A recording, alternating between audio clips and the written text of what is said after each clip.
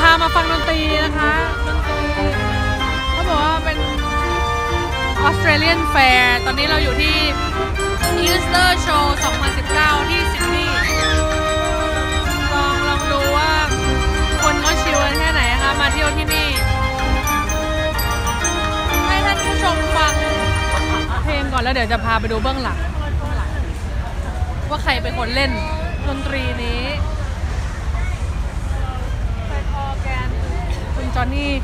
เบอร์บีเป็นคนบิวนะคะข้างหลังเป็นอย่างนี้นะคะ ลองมาดู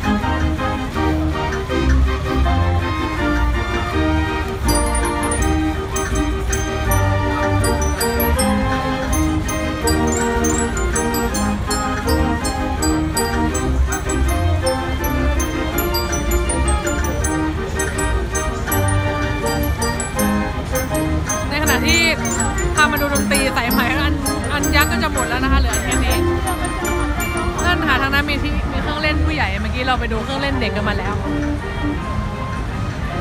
งานก็ใหญ่อยู่นิดนึง เราก็เลยเดินเดินหลง จริงๆ เครื่องเล่นเด็กอะ มันก็ติดกันกับเครื่องเล่นผู้ใหญ่นั่นแหละค่ะแต่ว่า